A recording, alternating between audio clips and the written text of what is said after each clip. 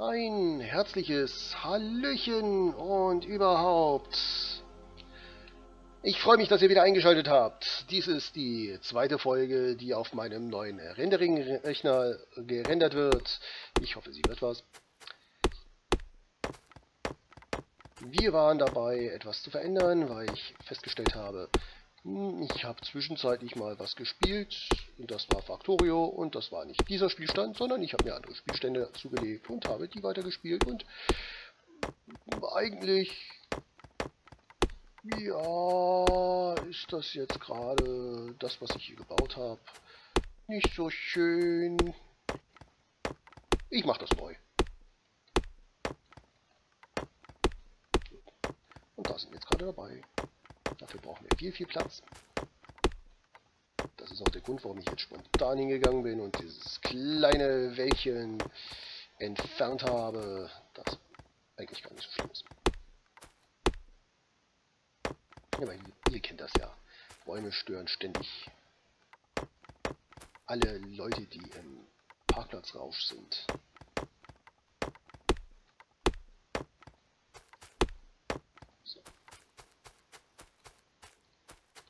Was ich machen möchte.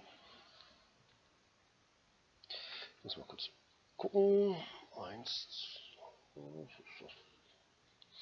Wir können hier schon einiges an Metall und sonst irgendwas hinstellen. Entschuldigung, ich denke laut. Ähm, ich sollte lieber was trinken, dann hört ihr nicht, was ich äh, denke und es wird eine Überraschung.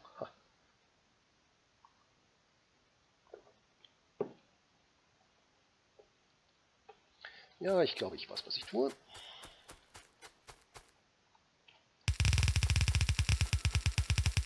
Lass erstmal den Planungsmodus laufen.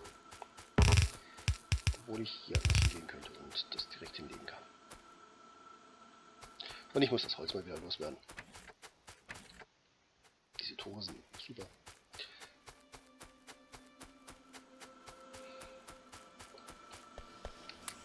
So, 161 Fließbändchen. Davon brauchen wir sehr, sehr, sehr viele. Können wir eigentlich schon bessere? Ja, wir können schon bessere, wenn wir wollten. Für alle, die sich fragen, was tut der Typ da? Ja, das ist eine Frage.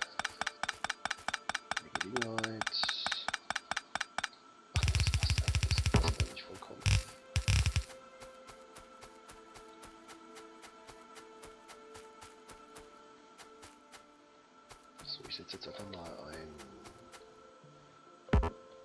Alibi Steintopf-Dings Schmelzenteil dahin.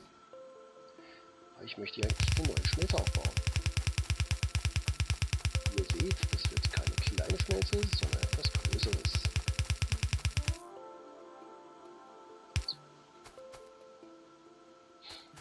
Ungefähr so.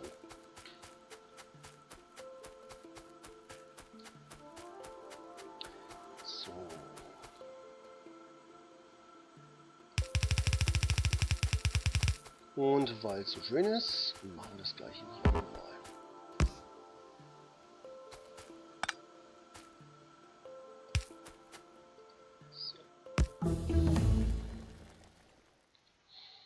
Was wollen wir denn jetzt erforschen?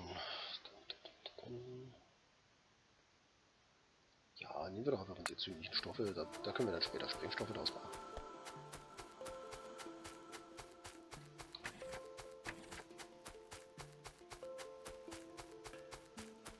Ja.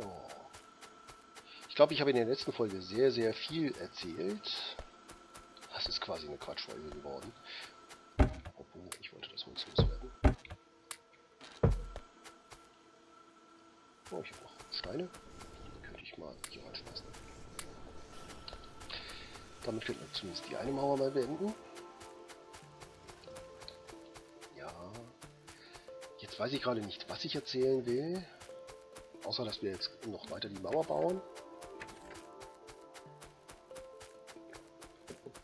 Ich ab und an mal ein Stück trinken muss, weil ich jetzt quasi 30 Minuten am Stück gesprochen habe über meinen neuen Blog, über ähm, meinen alten Blog, über meine Twitter-Seite, über meine Google Plus-Seite, über meine Facebook-Seite die ihr erreichen könnt über sascha.t.de.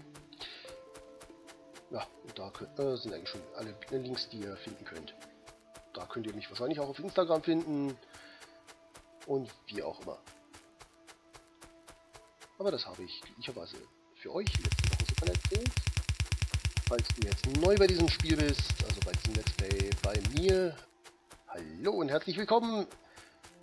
Ich bin Sascha T. Und äh, was du über mich wissen willst, findest du auf sascha.t.de.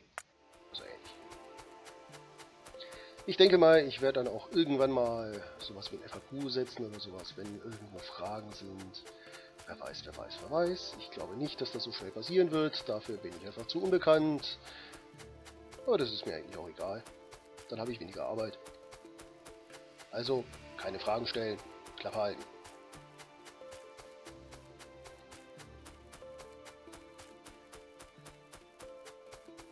Und wir sind jetzt gerade im Moment dabei, ein neues Stück Schmelze zu bauen. Also eine neue große Schmelze zu bauen, weil mit dem kleinen Ding bin ich nicht zufrieden.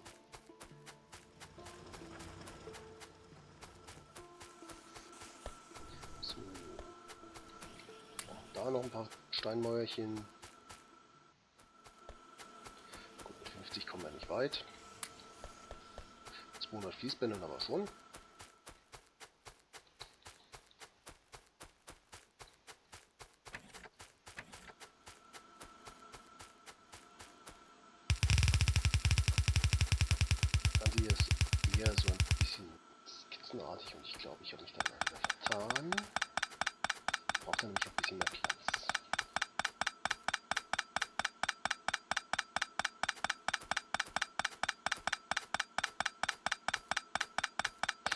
Ja, das ist sehr spannend, wenn man jemanden zuschaut, wie er Dinge abreißt, die er vorher selber hingeklatscht hat.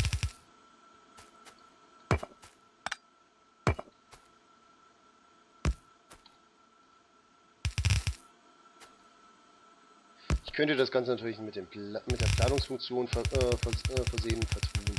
Aber wäre denn das Spaß? Dann würdet ihr mich ja für voll halten. So könnt ihr einfach nur sagen, so, Idiot habt ihr noch wenigstens ein bisschen Spaß dabei, wenn ich mir einen abracke.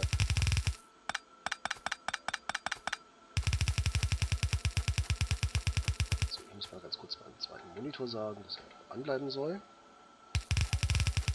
Der hat nämlich eine Energiesparfunktion. Alle paar Jubeljahrhunderte sagt er einem, hey, du, ich bin müde. Möchtest du nicht, dass ich ins Bett gehe? Ich sage,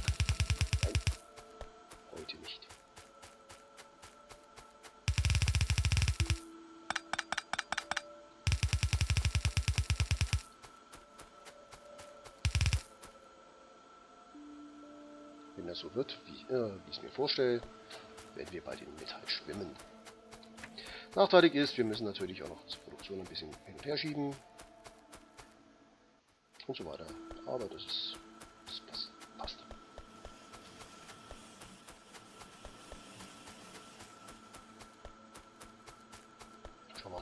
jetzt? 75. Einmal hier durch, das könnte funktionieren, muss es aber nicht. Ich versuch's. Ich versuch's.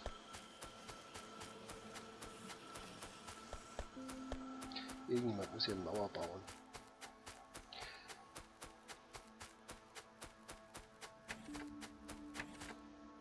Ja, laufen wir erstmal hoch.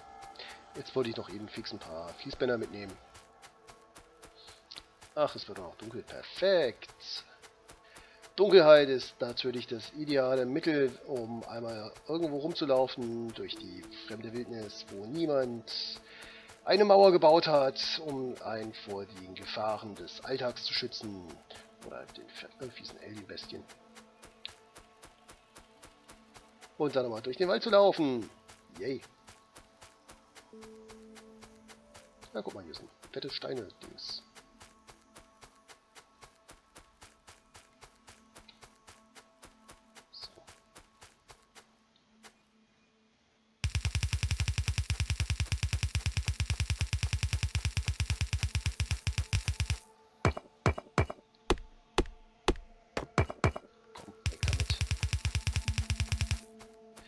Juhu, es hat funktioniert. Wir haben auch die Mauer fertig. Jetzt können wir uns natürlich überlegen, ob wir noch schnell hier rüber eine Mauer bauen und dann da noch ein bisschen claimen und hier nochmal äh, ein bisschen claimen, weil da haben sie schon was gebaut. Und ja, ignorieren brauche ich nicht. Und ob wir dann noch schnell hier unten rum was bauen, wenn wir dann dabei sind und so weiter und so fort.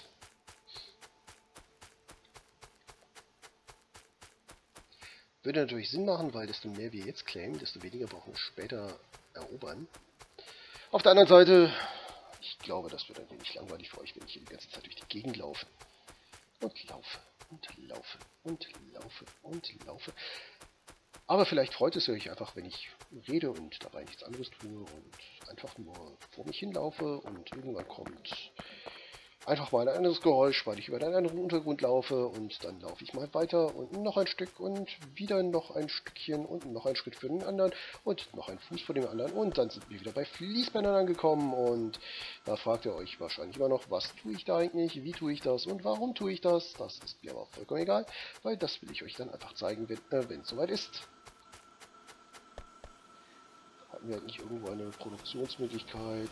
War ich faul genug, um zu sagen, ich möchte die Dinger hier selber... Nein, ich glaube, die produzieren, die produzieren sich leider nicht so selbstständig, wie ich es mir gedacht habe.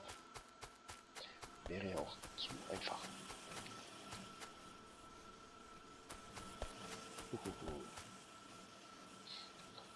Ja, kommt, nein.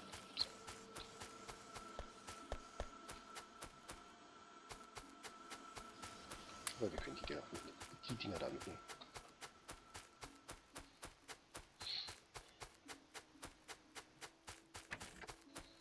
So, und da ich gelernt habe, werden wir jetzt gleich erstmal hier hingehen und definieren, also dass sie so ein Megabus werden. Die Karte. Wir definieren jetzt einfach mal hier, das hier wird für Metall. Dann, dann haben wir hier Kupfer. Dann werden wir hier Stahl nehmen. Dann brauchen wir noch einen später für Kohle. Das müssen wir anders machen. Das müssen wir definitiv anders machen. Das liegt einfach alles zu nah beieinander. So, Metall. Dann wollen wir Kupfer haben. Das Ding. Also Stahl. Oh, ich wollte Stahl drücken. Ich muss doch weiter auseinander gehen. So, Kupfer. Stahl. In welcher Stärke, also wie viele Bänder wir dafür verwenden, das werden wir dann später rausfinden. Das zeige ich euch dann. Wir brauchen noch das da, wir brauchen noch das da. Was brauchen wir von da oben noch? Wir werden diese Sachen produzieren. Wir werden auch Ziegel noch haben. Logischerweise Ziegel. Das da. Haben wir noch irgendetwas, was wir produzieren werden hier oben in einer Schmelzeinrichtung? Eine Menge Zeug? Nein. Fische, Uran. Nein, das wird auch hier nicht passieren. Gut. Dann werden wir nämlich vier Bänder Eisen haben, zwei Bänder Kupfer, zwei Bänder Stahl, eins Kohle, Stein, Eisen, Ziegel. Was hatten wir da noch? Kohle, Stein, Eisen, Ziegel. Das müsste eigentlich funktionieren. Dann haben wir notfalls noch ein bisschen Platz äh, in die andere. So, jetzt muss ich mal ganz kurz was nachschauen. Und zwar...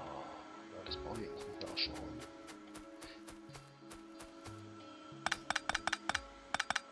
Den Teil kenne ich sogar noch auswendig.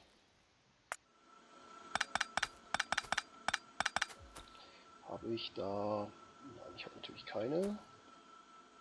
Ja, jetzt fragt ihr euch sicherlich, was will der jetzt? Was will der jetzt?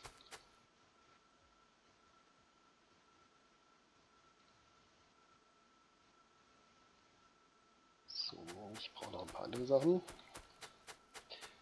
Nämlich davon ein paar, dafür brauche ich wieder Eisenplatten und dafür ein paar, dafür brauche ich noch elektronische Schaltkreise.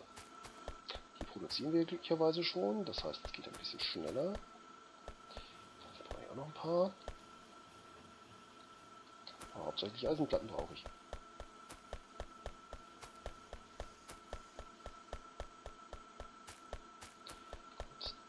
die schnappen wir jetzt einfach davon. Ich brauche zwei Stück davon. Ich brauche fünf Stück davon. Das Ganze könnte ich natürlich jetzt auch schon in Rot machen, aber wir haben im Moment so wenige Ressourcen. Die müssen wir erstmal ein bisschen was verbessern. Die Ressourcen. Äh, Sachen hier.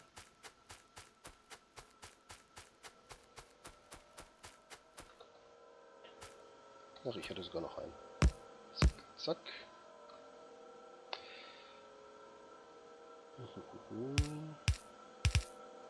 Wenn ich mich richtig erinnere.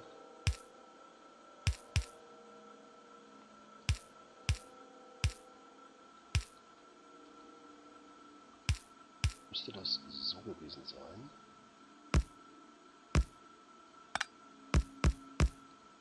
Und zwar ist das ein 4 zu 4 Belt Balancer. Das heißt, hier kommen vier Bits, also vier ähm, Bänder rein. Das wäre das Wort. Nee. Und die werden dann entsprechend auf die anderen vier Bänder, die da hinten dran sind, gebalanced. Das heißt, alles, was hier reinfließt, wird automatisch gleichzeitig auf die Sachen verteilt. Das können wir jetzt einmal ganz kurz zeigen. Wenn ich hier zum Beispiel Zeug reinschmeiß, auf welche Seite auch immer, ja, da wollte ich jetzt nicht draufklicken, mit, wird das automatisch verteilt auf die gleiche, auf die äh, Lane, die hier runter liegt. Zwar ungefähr gleich. Also, was heißt ungefähr gleich? Ziemlich gleich. ist natürlich wunderbar, dass wir da einen optimalen Weg angelegt haben, der schon ziemlich lang ist. So, den Scheiß müssen wir nämlich alles wieder einsammeln. Ist zwar die Eisenlane, da sollen auch vier Eisenlanes durchlaufen, aber ich möchte das Ganze erstmal so weit haben, dass ich ähm, hier was reinschmeißen kann, dass es automatisch produziert wird.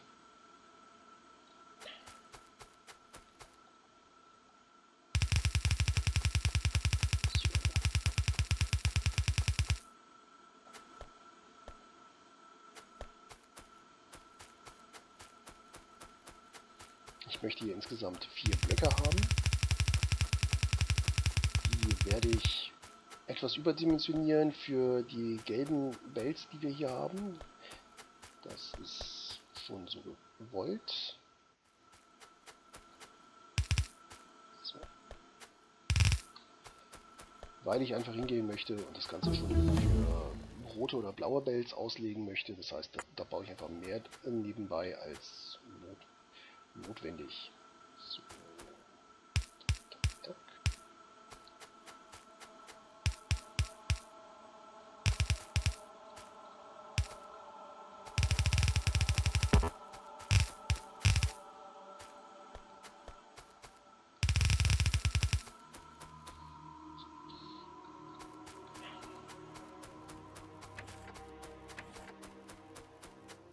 Nachteilig ist, dass wir gerade die ganzen Ziegel verbrauchen bräuchten wir eigentlich für Schmelzöfen.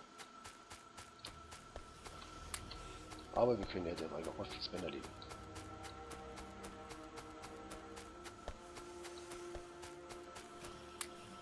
Und ich muss ganz ehrlich sagen, das hätte ich von Anfang an machen sollen. Aber zu dem Zeitpunkt, als ich dieses LP angefangen habe, war ich noch total unschuldig und wusste von nichts.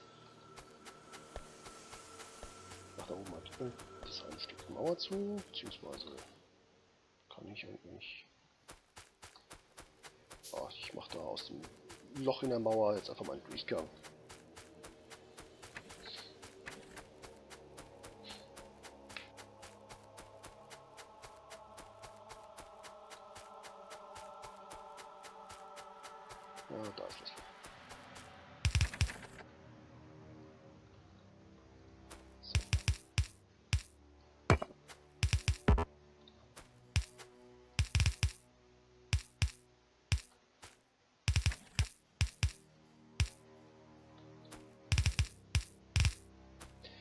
Leute, die sich wundern, was ich jetzt, warum ich da immer wieder das Stück Mauer drumherum baue.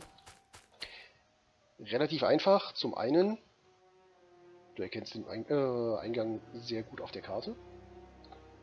Und zum anderen, du kannst hier zum Beispiel noch einen Geschützturm reinsetzen. Und wenn hier irgendwas durchbrechen sollte, müssen die trotzdem einmal außen rum, beziehungsweise nochmal durch die Mauer durch. Das ist quasi ein Spießrutenlauf.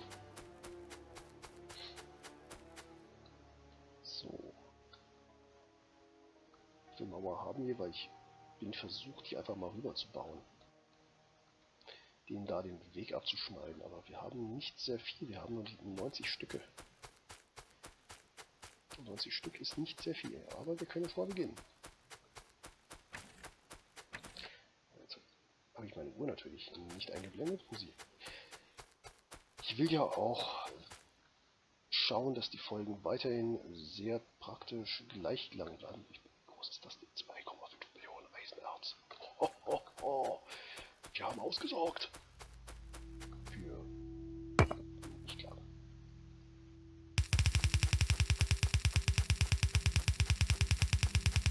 Warte, wir müssen erstmal ankommen.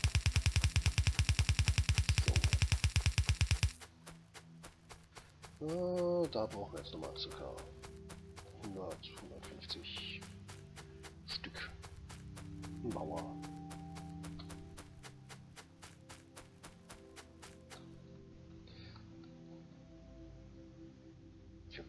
Dringend Strom hier oben.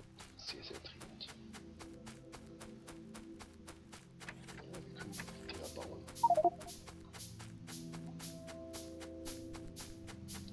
Ah, es ist natürlich schade, dass wir nur die kleinsten Möglichkeiten haben, um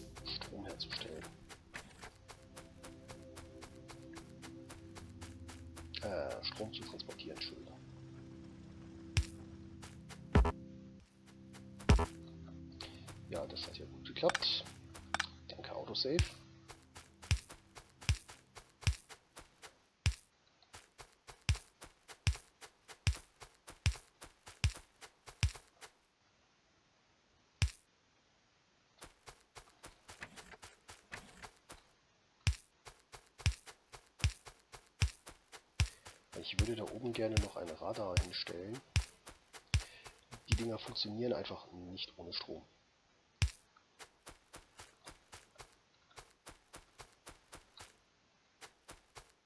Komm, das können wir auch gehen. Weiter bauen, die zwei Stück.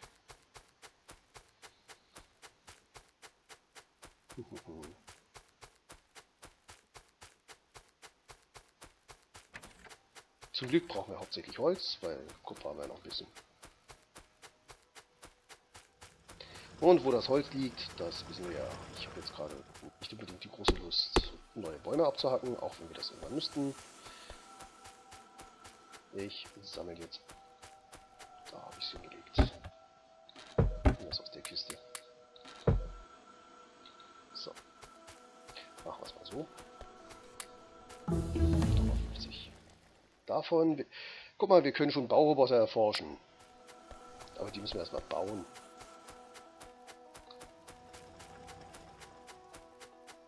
Nicht, dass wir einen überdimensionierten äh, Forschungskomplex haben, aber kaum irgendwas dazu br äh, bringen können, äh, erforscht zu werden. So, davon können wir gleich auch noch eins bauen. Das wird nämlich am Ende der Strecke aufgehangen. Also, du weißt schon, eingemacht.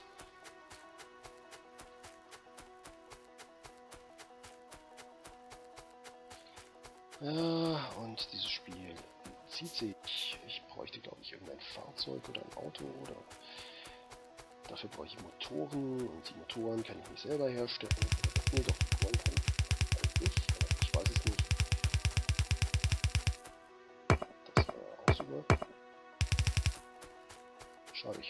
wenigstens zu dem See zu kommen. So.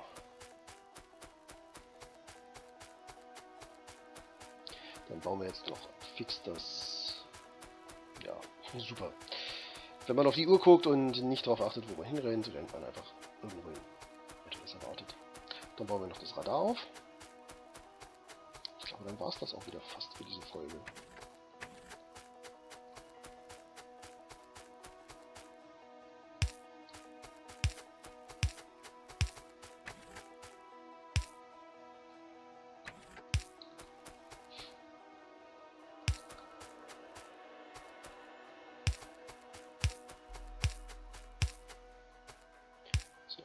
Richtung.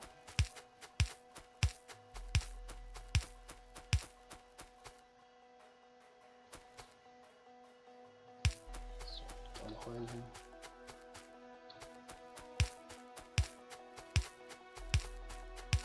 Ja, das hier ist eigentlich ungeschütztes Gebiet, absolut ungeschütztes Gebiet, das sehe ich auch vollkommen ein. Das ist mir auch eigentlich ein bisschen egal, weil ich gerne wissen will,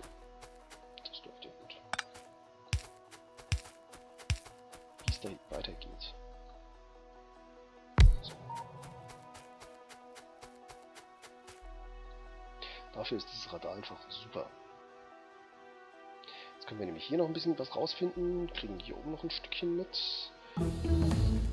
Dann können wir auch planen, wie wir die Mauern weiterziehen.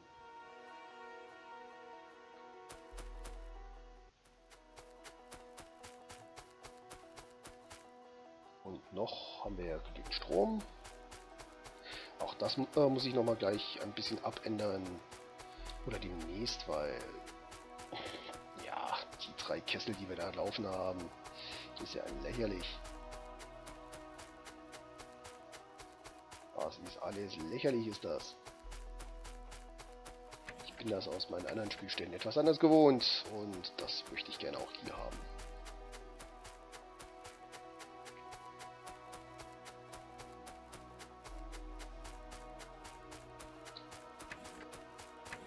Aber gut, das, was wir da gebaut haben, ist schon mal eine solide Anschub, äh, Anschubbauweise. Schauen wir mal, wie viel Mäuerchen wir noch haben. Vielleicht machen wir die jetzt noch fertig. 41 Steinmauern, das, das machen wir noch eben fix. Und es tut mir leid, wir werden wahrscheinlich die nächsten Folgen die ganze Zeit durch die Gegend laufen, irgendetwas tun und weiter und so fort. Wir werden nicht sitzen bleiben und Tee trinken, so wie es auch sein könnte. Dafür empfehle ich euch dann Minecraft. Da kann man sich auch ab und an einfach mal zur Ruhe setzen. Also nicht so, sondern einfach nur mal so hinsetzen und schauen, was man gemacht hat.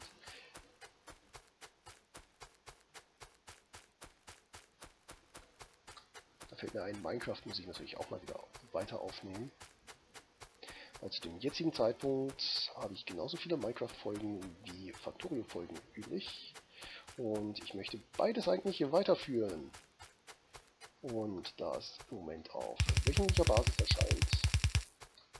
Ach, es hat sich bewegt und es war dieses Radar. Puh, jetzt habe ich mich erschreckt. Da ich äh, beides weiterführen möchte und weiterhin auch auf äh, wöchentlicher Basis, weil ich sagte irgendwann mal, irgendwo glaube ich, wenn irgendwas super aktuelles, ein Blockbuster, um es mal in der Filmindustrie zu, äh, zu, äh, zu sagen, also Filmindustrie technisch, dann bekommt ihr sehr, sehr viel davon mit, weil ich das dann sehr wahrscheinlich auch sehr stark spielen werde und zum einen, weil es mich hypt und zum anderen, weil ich dann einfach sage, so hey, ich kann euch da jetzt nicht eine Woche lang darauf warten lassen, dass ihr seht, wann das nächste Mal das super Top-Spiel äh, läuft. Sondern das werde ich dann erhöht raushauen und nicht nur einmal pro Woche, sondern ein bisschen öfters. So wie ich es im Moment mit Conan Exiles mache, da kommen ja auch zwei Folgen pro Woche raus. Das ähm, habe ich wahrscheinlich auch ein bisschen zu wenig gemacht. Auf der anderen Seite, so wie ich das gerade sehe, wir schaffen es im Moment nicht aufzunehmen. Ist das auch ganz gut so, weil da können wir einfach die äh, nächste Folge entspannt angehen. Und ihr habt trotzdem noch was zu gucken. Und so werde ich das dann auch bei anderen Sachen machen, die ich dann quasi für mich als Blockbuster deklariere. Im Moment, jetzt stand vor fünf Tagen, ist ja auch die erste Machinki ähm, rausgekommen.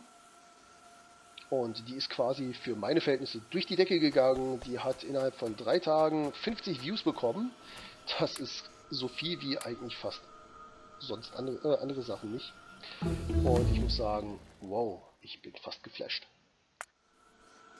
Ich kenne das natürlich überhaupt nicht so. Ich habe zwar schon äh, auch schon Folgen, die haben 120 äh, Views. Das sind dann Stellaris, ähm, die unendlichen Gespräche beziehungsweise die Kugel der Unendlichkeit.